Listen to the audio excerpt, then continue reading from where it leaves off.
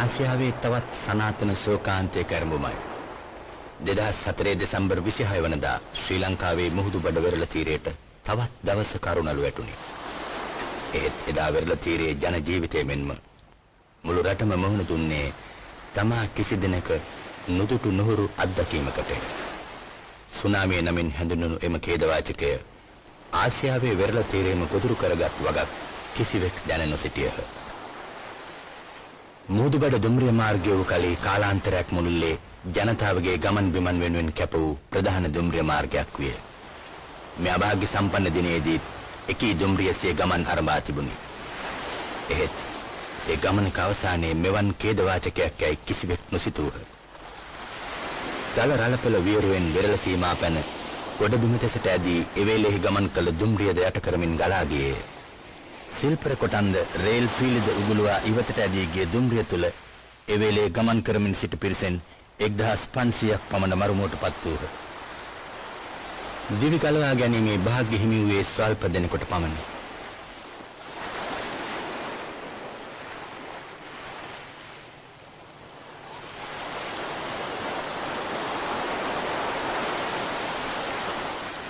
මේ විපත කන වැකුණු අවට යහපත් මිනිස්සු මලවුන් අතර නොමැරී සිට කීප දෙනා බේරාගත්.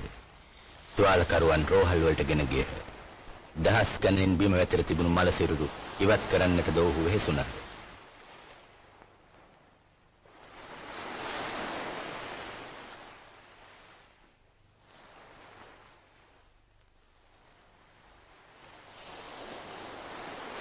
රෝහල් මල සිරුරු වලින්ම පිරී ගියේය. මෘත ශරීරාගාරවල ඉඩ මඳ විය. කොරිඩෝවල පමණක් නොව රෝහල් පරිසරය පුරාම මල සිරුරය. විපත සැල වූ ඇතම් කෙනෙක් ඒ වන විට අවට රෝහල් කරා පැමිණෙමින් සිටියහ. තම නෑයන් සොයමින් ඒ මල සිරුරු එකින් එක පරීක්ෂා කරන්නට දූහ. හඳුනා ගැනීමේ ලකුණකුදු නොවූ තරම්ය. ඇඳුමක කොටසක් හෝ වෙනත් ලකුණකින් විනා අනෙක් මල සිරුරු හඳුනාගත නොහැකි විය. මරණය කතරම් සාහසික ලෙස අප ලුහු බැඳෙන්නේද? ජීවිතය යනු මරණයයි. එහෙත් හැම මිනිහෙකුටම ගෞරවනීය මරණයක් හිමි විය යුතුය.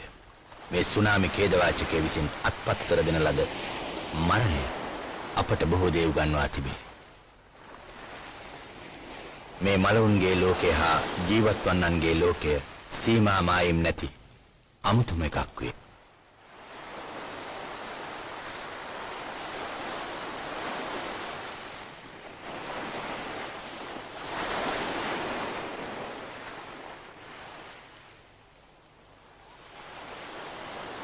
ගස්කොළන්, ගෙවල් දොරවල්, කඩසාප්පු, පාසල්, පන්සල්, කෝවිල් පමණක් නොව මංමාවත් සියල්ල මුලින් උදුරුවමින් වෙරළින් ගොඩබිමට හඹා ජලකඳ එවේලෙහි පෙනෙන මානයක රඳවා තිබුණු කාර් බස් වෑන් ලොරි පමණක් නොව මහමග ගමන් කළ සියල්ලද බිලිගන්නට තරම් ප්‍රචණ්ඩ විය. මිනිසුන්ගේ දුක් අඳෝනා ජීවිතය ඉල්ලා දෙන ලතෝනිය නොසමින් සාහසිකව ගලාගේ ජලකඳ යළිත් සියල්ල සුන්බුන් ගොඩක් බවට පත් කර තීඹට පලා ගොස් සැඟවිනි. මහ පොළවට පොරබදන මායිම් වලට මරා ගන්නා සිංහල දෙමළ මුස්ලිම් ආදී සියලුම මිනිස් වර්ගයා කෙරෙහි මෙම දල රළපෙළ දැක්වුවේ එක් බඳුම ප්‍රතිචාරයකි.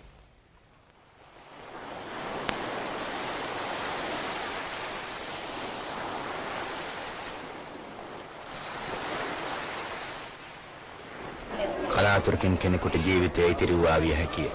එහෙත් නෑයන් නැති, මිතුරන් නැති, ලබඳයන් නැති විසල් ලොවක ඇඳිවත පමණක් සමග තනි වූ මේ මිනිසුන්ගේ ගැහැණුන්ගේ හා දරුවන්ගේ සිතක නැගෙන දුක ඔබට කියවා ගත හැකිද? මිනිස් වර්ගයාගේ පොදු බසට වර්ණයක් පාටක් නොවිය. ඒ සියලුම දුක් වේදනා කඳුලක හැඩයෙන් දෙකපොල් දිගේ ගලා ගියේ. මනුෂ්‍යත්වයේ දයාව ආදරේ ඒ හැම කඳුලකම ආයාචනය විය.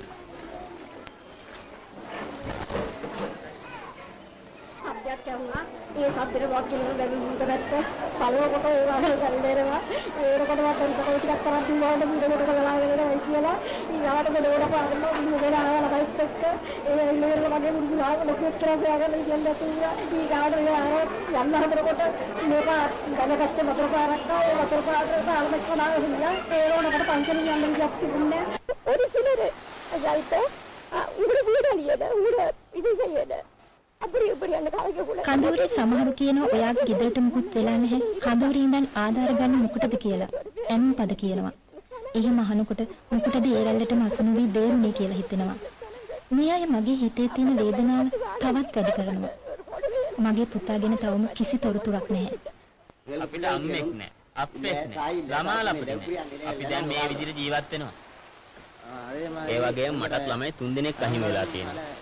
අපි හිටපු තැන් වල නැවත ගිහිලා ජීවත් වෙන්න අපිට බෑ දැන් මේ අවට කඳවුරු හදලා දෙනවා ඒ වයත් අවුරුදු ගාණක් ඉන්න බෑනේ இருக்கு அதனால மு- ம், இன்னும் இதுபோல முகாம்கள் அடிக்காங்க அதுபோல எத்தனை வருடமும் நாங்கள் சென்று இரு இருக்க முடியாது පවුලේ කෙනෙක් අඩු වෙන එක නේද? මට විතරක් නෙමෙයි මගේ ඥාති හැමතැනම මේ සිද්ධ වෙලා තියෙන ඉතින් ඒක ගැන හිතලා තමයි මේ හැමතැනම වෙච්ච දෙයක් නේද කියලා හිත හදාගන්න. ඒ මතර තනි වුණාම මගේ නංගි නෑ කියන හැඟීමක් දැනෙනකොට මට ඇත්තටම දරා ගන්න බැහැ අපේ මල්ලි අපේ අම්මා උඩට ඉස්සුවා. පාර ඒත් අරගෙන වතුර පාරට ගියා. ඒ පාර මට ආච්චිගේ කකුල වුණා. ඒ පාර මං ආච්චිගේ කකුල අල්ලගෙන ම- දැන් මට පේන්නේ නැහැ වතුර පාරට. මම මම පියාගෙන ඉන්නේ ඒ පාර මම ලී ලී ලී කෑල්ල මට වුණා ඒ පාර මං ඒ ලී කෑල්ල අල්ලගෙන ඉන්නකොට මගේ අත ලිස්ටුව වතුර පාරට ගියා අතිමා. ඒ පාර අති පෙන්නේ කියන්නේ බැලුවම මූ දෙනවා. මූ දෙනවා. පස්සේ ගමේ අය සේරම අඬ ගහගෙන පල්ලිය ගාවට දුවගෙන දුවගෙන ආවා. ඕන උනේ ජීවිත බේරගන්න විතරයි. අපි ඇඳගෙන හිටිය දේවල් ඇඟේ තිබුණා කියලා දැන්නවත් නැහැ. මොනවත් ඉතුරු වුණේ නැහැ. අපි තුන් දවසක්ම ජුම්මා පල්ලියේ හිටියා. අපේ සේරම විනාශ වෙලා. රූපවාහිනී ගුවන් විදුලි පමණක් නොව දොරින් දොරද ඒ මහා විපත පිළිබඳ කතාබහ ගලා ගියේ මුළු රටේම කෘතවේදී මිනිස්සු නන්නාඳුන නෑසයන් වෙනුවෙන් කළ හැකි පරිත්‍යාගයන් සඳහා යොමු වූහ මේ හා සමගම රජයේ සානාධාරද විපත්පත් ප්‍රදේශ කරා ගියේය විපතටපත් ප්‍රදේශවල ජනතාවට ආධාර ලෙස එක් වූ බොහෝ දේවල් ලොරි මගින් රට පුරා ගමන් කළේය විපතටපත් සිංහල දෙමළ මුස්ලිම් යන සියලු ජන කොටස් සඳහා එකසේ සමගුණයෙන් සැලකීම රජයේත් වෙනත් සංවිධානවලත් පිළිවෙත විය. වන්නිය මුලතුවැනි ප්‍රදේශවලට ගමන් කළ ආධාර කණ්ඩායම් එයට සාක්ෂි දෙති. LTTE සමාජිකයෝද මිත්‍රශීලීව ඒ විපතින් දුකටපත් සිය ජනතාවට පීටවන්නට සියලු දෙනාටම සහාය වූහ.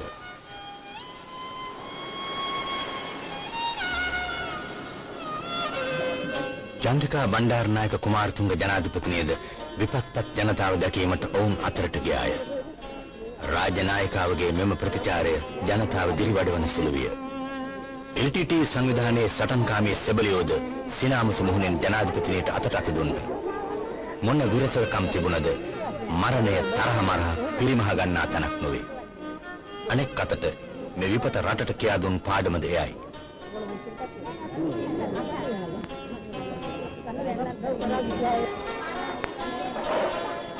රජය විසින් ආරම්භ කරන ලද ආපදා කළමනාකරණ සේවයද ඉහු ඉහුව විපත්පත් ජනතාව සූපත් කිරීමට පියවර ගත්තා. හදිසි ආපදා සේවයට ආරක්ෂක හමුදාවන්ද කැඳවනු ලැබුණි. අක්‍රිය වී තිබුණු ජනතා සේවාවන් ආරම්භීමට ක්‍රියා කළ රජය සහනාධාර ලබා දීමද වේගවත් කළේය.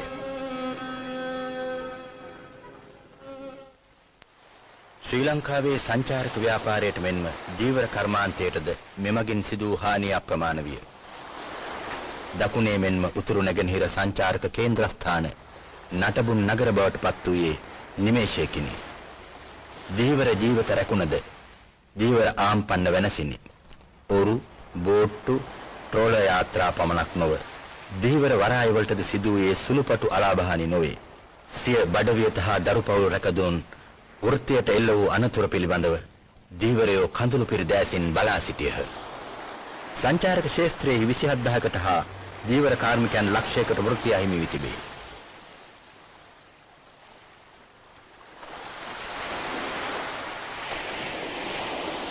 ඒ දලරැල්ල පෙළට හසු වූ මම්මාවත් සියල්ල දියාගල් බවට පත්ව තිබුණි. පාරක් තබා පාරක සලකුණක් හෝ බොහෝ තැන්වල නොවිය. පාලම් ගැලවී දිය ගොඩ හාවී තිබුණි. දැන් අලුතින්ම සියල්ල ගොඩනගා ගත යුතුය. පාලම් බෝක්කු ඉදිකර පාරවල් තනවා ජීවිතය ආරම්භ කළ යුතුය.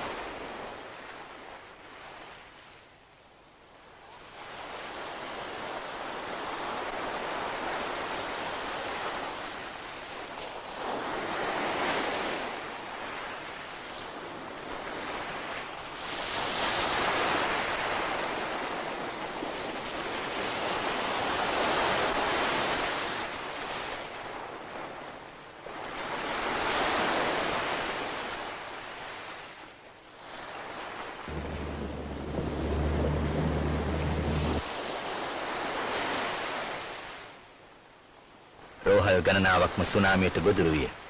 ජන ජීවිතයට උවමනා අවම සෞඛ්‍ය පහසුකම් හෝ ලබා දීම දුෂ්කර විය.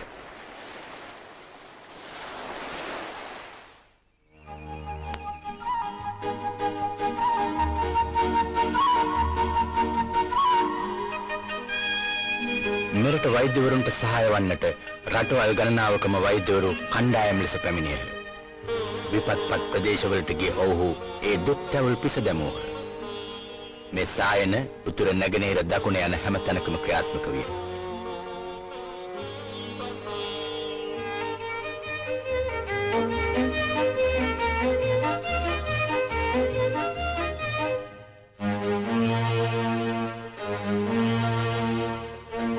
සුනාමියට හසු වී විනාශ වී ගිය පාසල් රැසකි. ඇතම් පාසලක එකම ගොඩනැගිල්ලක් හෝ ඉතිරිව නැත. ඇතැම් පාසලක ළමයිද මේ විපතට හසුව මිය ගොස් සිටිති. දරුවන්ගේ කෙලි කවට සිනා රැවුදුන් ඒ පාසල් බිම් අද මල සෝනක මූසල බව රජ කරයි.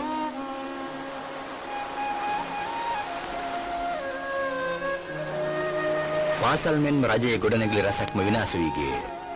දිස්ත්‍රික් ලේකම් කාර්යාල මෙන්ම බන්ධනාගාර ගොඩනැගිලි කීපයක්ද ඒ අතර විය. ඒවා යථා තත්ත්වයට පත් කර ගැනීමේ අභියෝගයට දැන් මුහුණ දෙමින් සිටී.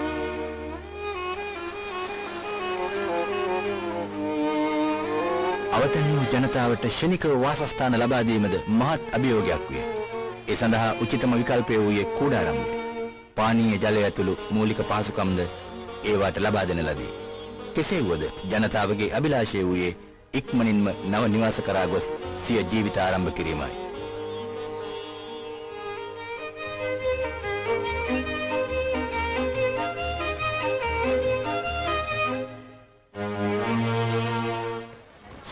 සුනාමීන් සුන්බුන් වී ගිය ප්‍රදේශ සුද්ධ පවිත්‍ර කිරීමේ ශ්‍රමදාන රට පුරාම ඇරමිනි.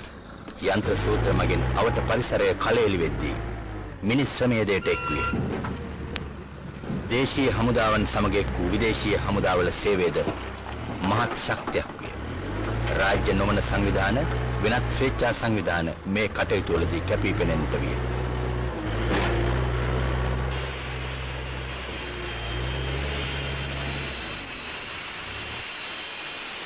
කටුනායකට ආධාර ගලා එමින් තිබුණි.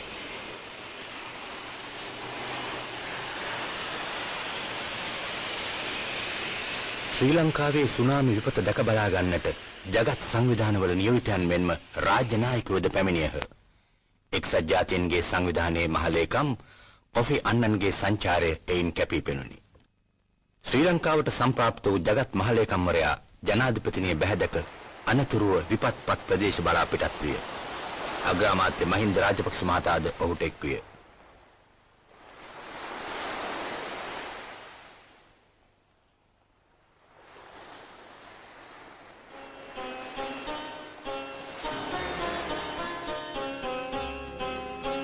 අවතන් වූවන් తాවකාලිකව ලැබුම්ගත් ස්ථාන නැරඹූ జగත් මහලේකම්වරයා වර එක කුඩා දරුවෙකු සමග කතා බහ කිරීමට තරම් නිහතමානී විය.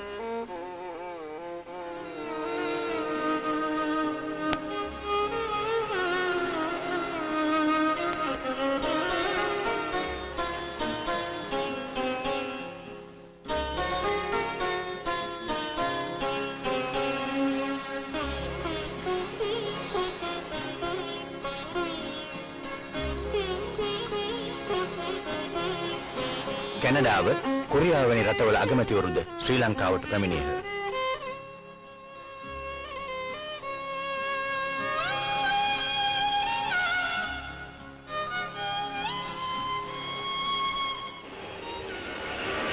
ඇමරිකානු රාජ්‍ය ලේකම් කොලින් පවල්ගේ ශ්‍රී ලංකා සංචාරය අතිශය වැදගත් විය.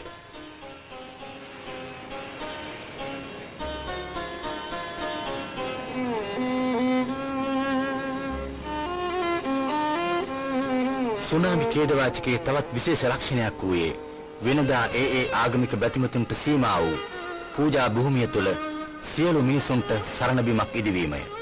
පන්සල, පල්ලිය, කෝවිල හැමතම පොදු නිවහනක් වූයේ එයිනි. ඉන්නේ අනුගේ කෑම්බීම් වලින් ජීවත් වෙන්නේ අපිටම කියලා අපිට ජීවත් වෙන්න ස්ථානය නැති නිසා දැනට පන්සලේ පදිංචි වෙලා ඉන්නේ පදිංචි වෙලා හිටියත් අපිට අපේ නිදහස නැහැ අපිට පදිංචි වෙලා ඉන්න ස්ථාන නැහැ දැනට තියෙන පදිංචි ස්ථානයේ ගල්මුණු ගලවල් තෙල් විතරයි තියෙන්නේ ෆවුන්ඩේෂන් එක විතර සමතලා වෙලා අපි තරම් ආව ව්‍යාපාර එකක් දැනට ක්‍රියාත්මක කරගන්නවත් අපිට විදියන්නේ අපි මේ අලාජ කඳුරු වල ඉන්නවා. හැමෝම ඇවිත් උදව් කරනවා කියනවා. ඒත් කවුරුත් උදව් කළේ නැහැ. ඒ හින්දා අපි ඔයාලගෙන් ඉල්ලා සිටිනවා. අපි අවුරුදු 15ක් තිස්සේ අනාථ විදියට ජීවත් වුණා. මන්නාරමේ ඉන්නකොට තිබිච්ච ඔක්කොම දේවල් නැති වුණා. කල්පිටිය කාලයක් අනාථව හැටියට හිටියා. නින්ද ඌරුවල පැලක් හදාගෙන පදිංචිට ඇවිත් අවුරුදු දෙක තුනක් වෙනවා. ඒකත් මුහුදට ගහගෙන ගියා. අපිට හැමදාම දුකෙන් ජීවත් වෙන්න වෙලා තියෙන්නේ. මේ ඉන්න මිනිස්සු අමාරුවෙන් ඉන්නේ. හැමදාම වගේ ඇවිත් බෙහෙත් දෙනවා. ඒ වුණාට මේ ලෙඩ සනීප වෙන්නේ නැහැ. මොකද මේ වේදනාව දවස් තිස්සෙම හදවත ඇතුළේ ඉඳලා එන හින්දා. இருந்தாலும் எங்களுக்கு வேற ஏதாவது வேறு பிரதேசங்கள்லயோ இல்ல வேற எங்கேயோ எங்களுக்கு உரிய வீடுகளை கட்டி අපිට හිමි පරිසරයක ජීවත් වෙන්න පුළුවන් විදිය ගෙයක් දොරක් හදලා දෙන්න කටයුතු කිරීම තමයි කළ යුත්තේ කියලායි අපි හිතන්නේ. කළදරෝ. අපිට දැන් අවශ්‍ය වෙන්නේ ඒ කැම ටික කුලා ගන්න මාළලයි බෝධිය සාව කරගන්න මම කොයි ඉන්න නි- නිවාසෙදී ඒ ඉන්න නිවාසේ මේ අත ඒ බෝධිය සාව කරන්න කිට්ටුවකින් දෙන්න සලසන්නේ සුනාමි විපත සැබවින්ම මෙහිපට ජීවත් වන සියලු ජනවර්ගවලට අයත් මිනිසාට එකසේ බලපෑ මිනිස් වර්ගයාම පීඩාවට පත් කළ විපතක්ම විය. මිනිසා හා විපත් අතර තිබෙන්නේ මොනතරම් පොදු බවත් අප ඒ යථාර්ථය පසක් කරගනිමු. වෙනසීගේ භෞතික සම්පත් බොහෝය. ගම්නගර එකම සුන්බුන් ගොඩවල් බවට පත්විය. අලු දුහවිලි වී ගිය සියල්ල යළි ගොඩ නැංවිය හැකිය. අහිමි වී ගිය ජීවිත හැර අන් හැමදේම කාලය සමග අපට ගොඩනගාගත හැකි ඉලක්කයන්නේ. අලු මතින් නැගෙන ෆීනික්ස් පක්ෂයාමෙන් අපි ඒ සුන්බුන් මතින් නැගී සිටිමු. ආත්ම විශ්වාසයත් චිත්ත ධෛර්යයත් අපට මඟ පෙන්වන ප්‍රධාන ආලෝක ධාරාවන්ය. මෙම විපතට හසු වී වෙනසීගේ ළමා ලපිටිපළද බොහෝය. එහෙත් කිසියම් ප්‍රාතිහාරයකින් මෙන් දිවිගලවාගත් එක් කුඩා දරුවෙකු මුළු ලෝකයේම අවධානයට ලක්වේ. සුන්බුන් අතර කිසිදු විපතක් නොවී දිවි ගැලවී සිටි ඒ දරුවා රෝහලකට බාර කිරීමෙන් පසු දරුවාගේ අම්මා සොයා ගැනීම අධිකරණයේ තෙක් දුරදිග ගියේය. කල්මුනේ රෝහල දෙවනත් කළේ දරු ප්‍රශ්නය නිම වූයේ අපූර්ව නාට්‍යමය ජවනිකා පෙළක් නිර්මාණය කරමින්ය. මුලදී බේබි 81 නමින් නමක් නැති ඒ දරුවා අවසානයේදී සැබෑ අම්මා අතට පත්විය. දරුවාගේ සැබෑ නම අභිලාෂය.